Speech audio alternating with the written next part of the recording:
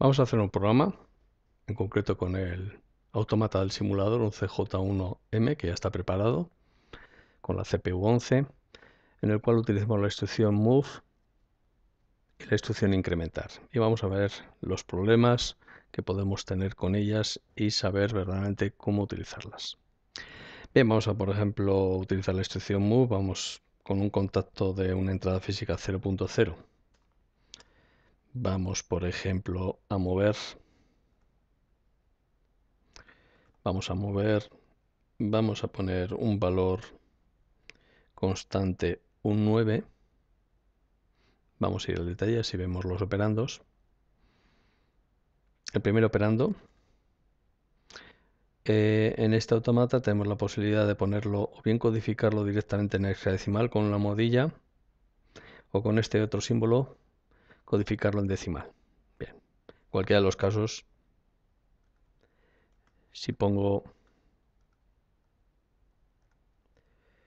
si pongo directamente almohadilla 9 o decimal 9 me lo va a admitir correctamente.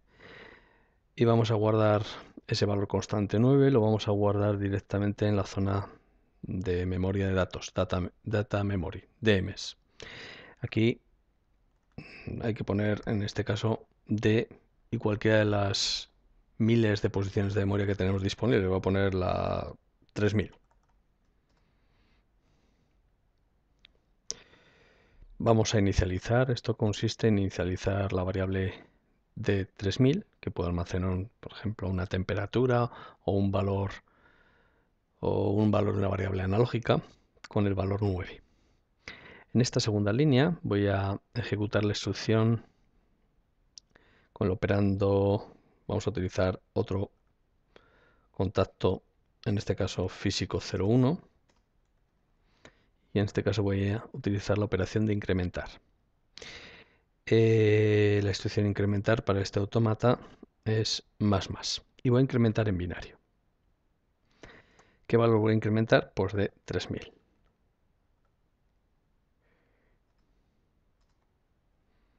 Directamente. Me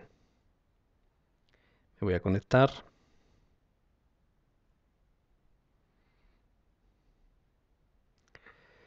Me dice que la comunicación no funciona, es porque tengo mal parametrizada la comunicación. Vamos a cambiar, dado que estoy trabajando con el simulador. La comunicación era a través del protocolo controller link y recordar que era la red 0 nodo 10. Bien, ahora debería funcionar.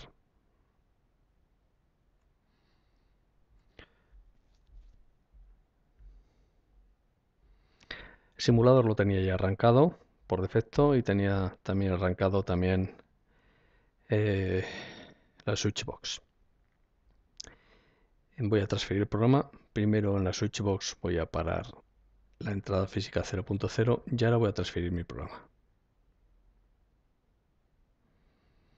Transfiero el programa desde el ordenador al PLC a su simulador.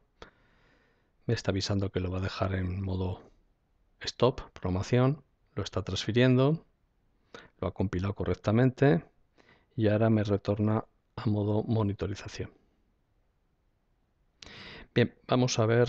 Mm, en vez de utilizar la switchbox, voy aquí utilizando este icono. Voy a activar una ventana de vigilancia. La ventana vigilancia me permite aquí, por ejemplo, monitorizar cualquier variable. Voy a monitorizar la variable de 3000 y en concreto cuando le dé al interruptor 0.0, esto sí que lo voy a hacer con la switchbox que lo tenía preparado. Vemos que el valor que tenemos directamente en D3000 es un 9 decimal. Curiosamente, no hay que olvidar que nuestro, nuestro microprocesador lo interpreta como 16 bits, siendo los cuatro últimos 1001, que es el equivalente a 9. Bien, vamos a tratar de incrementar. Para ello voy a desactivar este botón del canal 0 bit 0 y voy a activar el bit 1 de ese mismo canal.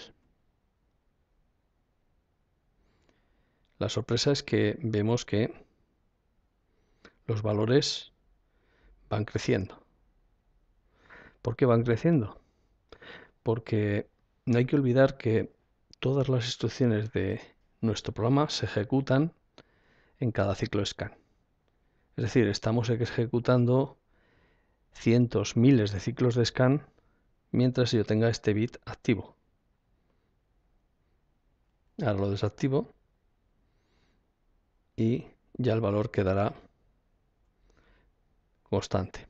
¿Qué es lo que estaba haciendo? Pues en cada ciclo de scan de los cientos o miles ciclos de scan que ha ido ejecutando el simulador, ha ido incrementando el valor de 9 a 10, así hasta llegar a 100, 200, 1000, 2000, 3000, etcétera, etcétera.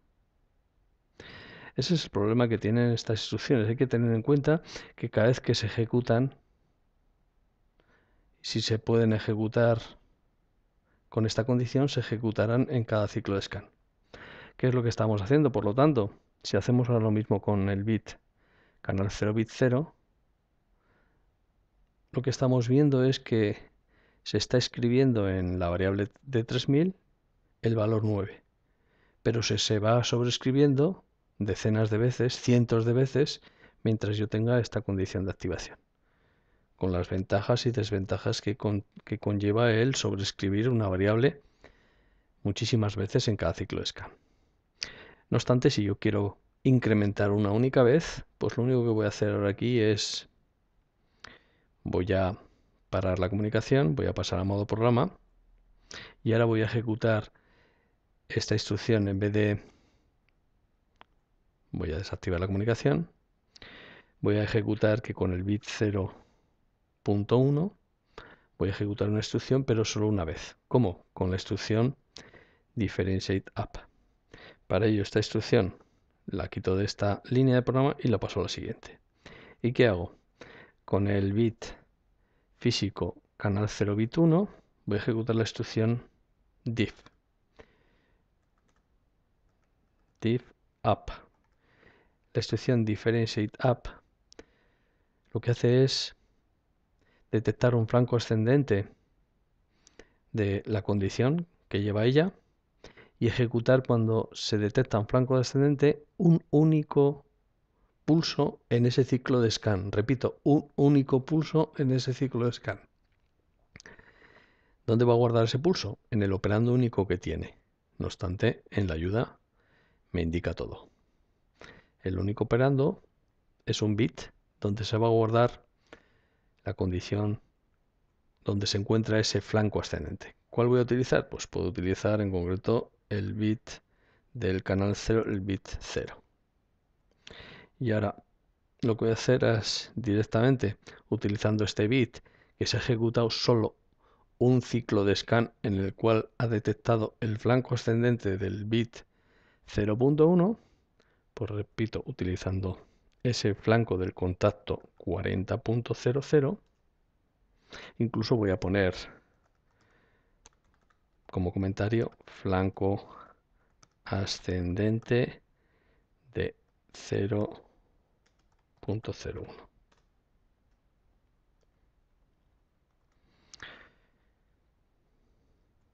si ahora vuelvo a transferir el programa restableciendo la comunicación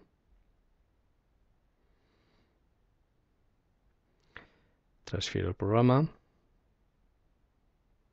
y vamos a ver lo que ocurre.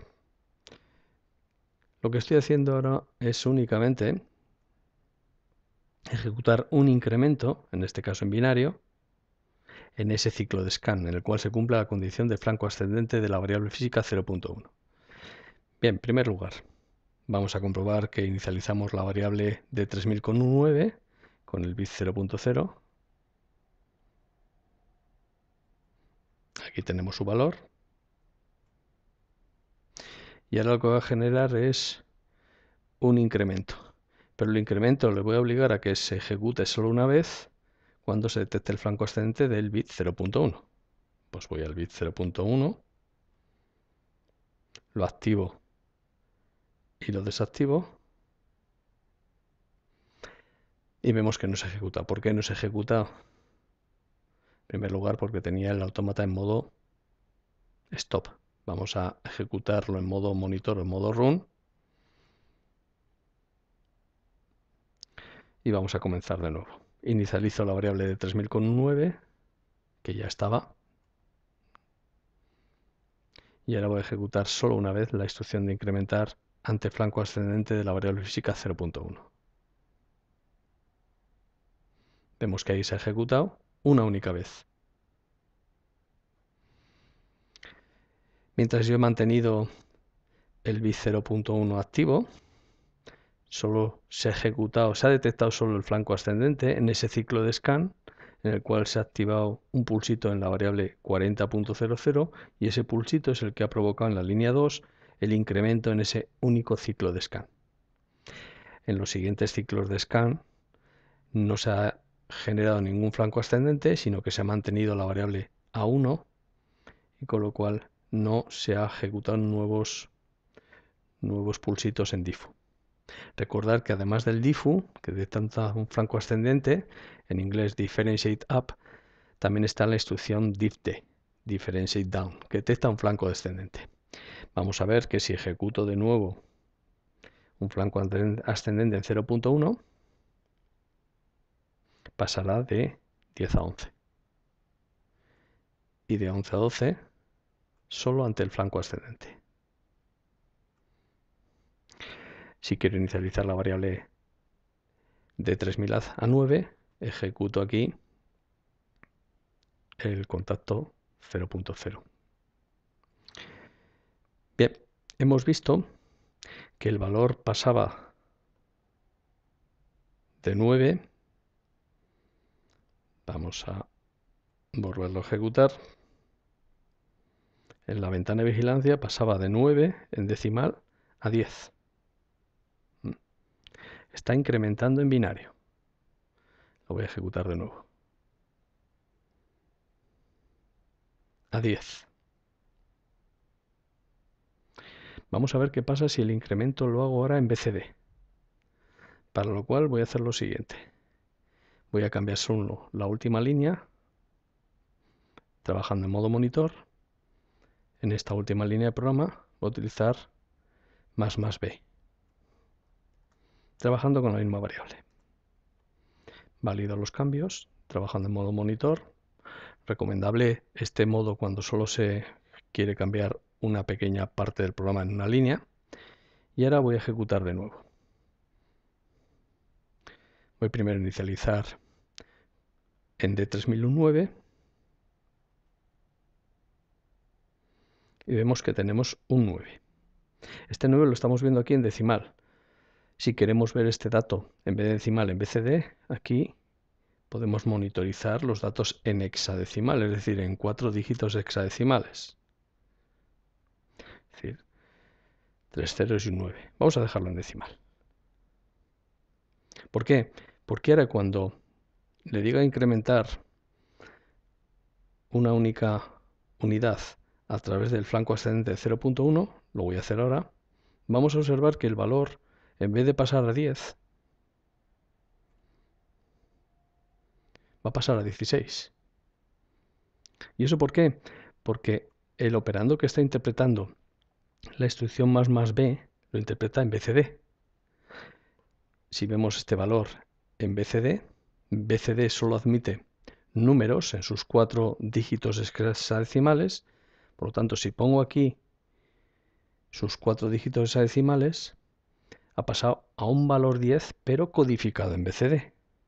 Conclusión, cuando trabajemos con operandos en BCD, los valores que vamos a poder obtener de estas variables WOR en BCD varían desde 0 a 4 9 hasta, hasta 9999. Mientras que si estamos trabajando en decimal o en binario puro y duro, con 16 bits, aquí podemos llegar a valores desde 0 hasta 65.535. Bien, conclusión del vídeo, dos cosas. Cómo utilizar instrucciones para mover datos, esos datos trabajados en variables de tipo Word o si queremos en variables de tipo Word doble, cómo incrementar, cuidado a la hora de incrementar, podemos incrementar con flanco una única vez ejecutado en ese ciclo de scan. Y también tenemos que ser conscientes de que si ejecutamos la instrucción mover, move, esta escritura la estamos haciendo no solo una vez en ese ciclo scan, sino todas las veces en las cuales se cumple esa condición. Si esto es un interruptor o esta es una condición que mantiene su valor por nivel a 1, esta sobreescritura se va a realizar en todos los ciclos de scan en los cuales se cumple esa condición. Bien, eso es todo por el, por el momento. Gracias.